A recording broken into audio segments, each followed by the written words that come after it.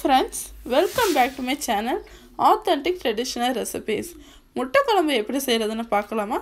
இது கொஞ்சம் வித்தியாசமான முட்டை குழம்பு கண்டிப்பாக நீங்கள் ட்ரை பண்ணி பாருங்கள் இப்போ வந்து நாலு முட்டை உளுந்து கடுகு கருவேப்பிலை. ஒரு டீஸ்பூன் சோம்பு ஒரு வரமிளகா ஒரு டீஸ்பூன் கடலைப்பருப்பு. புதினா ஒரு கைப்பிடி எடுத்திருக்கேன். மசாலா ஐட்டம்ஸில் ஒரு டீஸ்பூன் மிளகாய்த்தூள் ஒன்றரை டீஸ்பூன் மல்லித்தூள் அரை டீஸ்பூன் மஞ்சள்தூள் வெங்காயம் நாலு பல் பூண்டு ஆறு பாதாம் எடுத்திருக்கேன். ரெண்டு தக்காளி எடுத்து வச்சுருக்கேன்.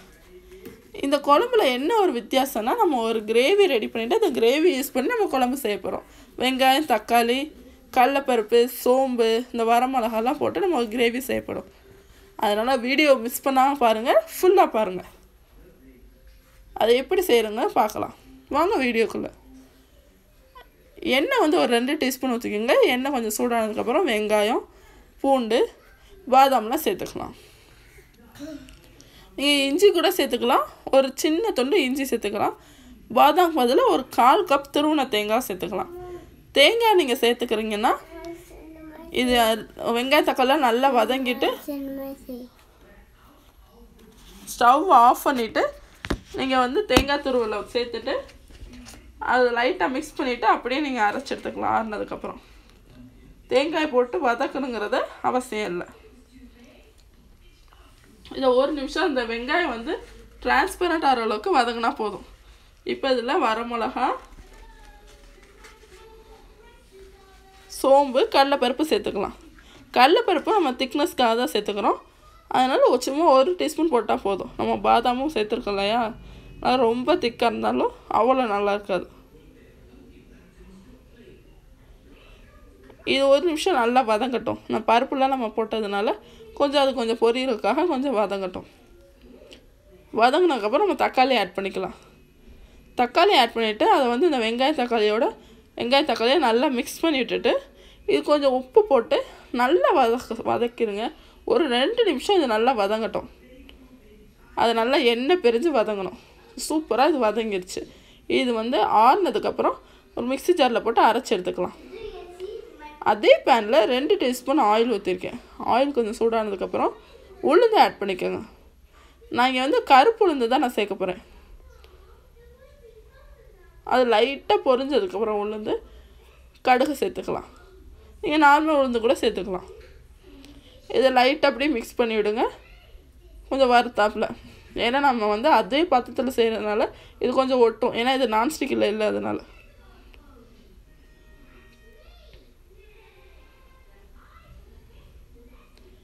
இது கொஞ்சம் பொரிஞ்சதுக்கப்புறம் நம்ம கருவேப்பிலை சேர்த்துக்கலாம். கருவேப்பிலை நல்லா வெடிச்சிருச்சு. இப்போ நம்ம ஒரு பாதி வெங்காயத்தை கட் பண்ணி வச்சுருக்கேன் அதை சேர்த்துக்கலாம். வெங்காயம் வந்து நல்லா பொன்னிறமாக வதங்கணும். பொன்னிறமானா நல்லா நல்லா கொஞ்சம் கிறிஸ்பியாக வதங்குச்சுன்னா நம்ம அது குழம்போடு சேர்த்து சாப்பிடும்போது ரொம்ப டேஸ்ட்டாக இருக்கும். இதை நல்லா வதக்கி விடுங்க.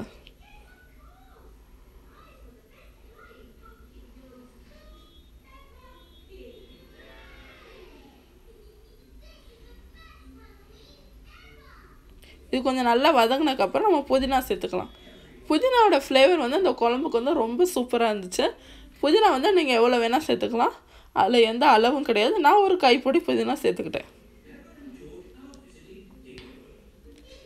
இதை நல்லா ஒரு ஒரு நிமிஷத்துக்கு நல்லா வதக்கி விடுங்க. அந்த புதினாவோட ஃப்ளேவர் எல்லாம் இந்த இதில் இதில் வந்து பர வர இறங்குற மாதிரி நல்லா வதக்கி விட்டுங்க அந்த ஓரத்தில் எல்லாம் எடுத்து விட்டுட்டு இப்போ நல்லா வதங்கிடுச்சு. இப்போ பார்த்தீங்கன்னா நல்லா வதங்கிடுச்சு.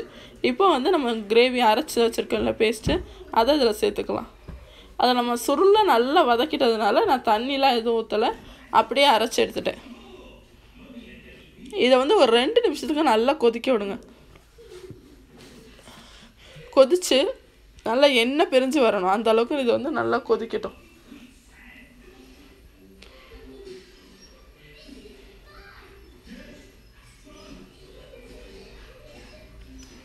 இது ரைஸ் கூட இட்லி தோசை கூட இடியாப்பத்து கூட. நீர் தோசை சொல்லுவாங்கள்ல அது கூட சப்பாத்தி கூட கூட ரொம்ப சூப்பராக இருக்கும். கண்டிப்பாக அதை ட்ரை பண்ணி பாருங்கள் இது நல்லா கொதித்து அந்த லைட்டாக எண்ணெய் பிரிஞ்சு வரணும் மசாலா. அப்போ தான் அதோட பச்சை வாசனை நல்லா போனால் தான் இந்த குழம்பு வந்து ரொம்ப டேஸ்ட்டாக இருக்கும். இப்போ பார்த்தீங்கன்னா எண்ணெயெலாம் நல்லா பிரிஞ்சு ஓரத்தில் தெரியுது. மசாலா நல்லா கொதிச்சிருச்சு. இதை நல்லா மிக்ஸ் பண்ணி விட்டுட்டு நம்ம பொடி வகைகளை சேர்த்துக்கலாம்.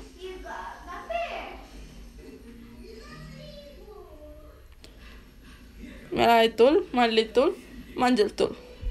உங்களுக்கு இன்னும் கொஞ்சம் காரம் ஜாஸ்தியாக தேவைப்படும்னா ஒரு ஒன்றரை டீஸ்பூன் வந்து மிளகாய்த்தூள் ஒரு டீஸ்பூன் மல்லித்தூள் சேர்த்துக்கோங்க.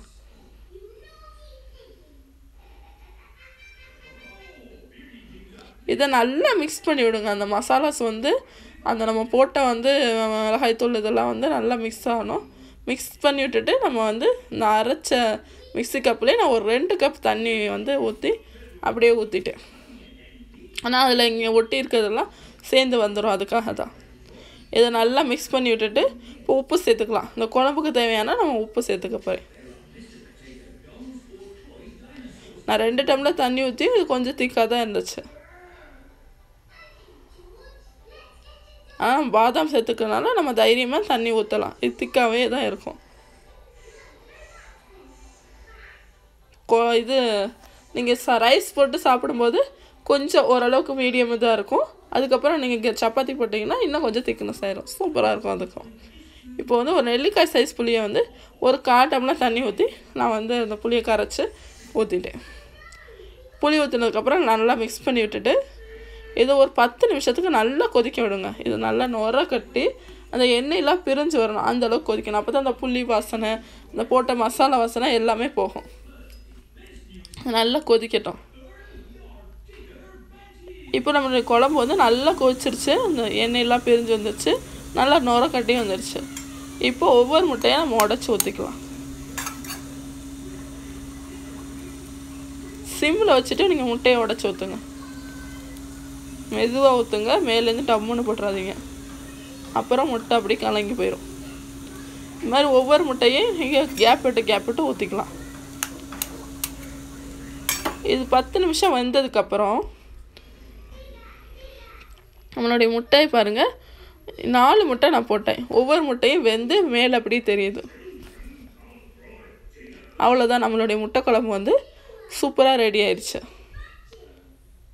இதை ஒரு சர்விங் பவுலில் போட்டு சர்வ் பண்ண வேண்டியதான் இந்த வீடியோ உங்களுக்கு பிடிச்சிருந்துச்சுன்னா லைக் பண்ணுங்கள் ஷேர் பண்ணுங்கள் கமெண்ட் பண்ணுங்கள் மறக்காமல் சப்ஸ்கிரைப் பண்ணுங்கள்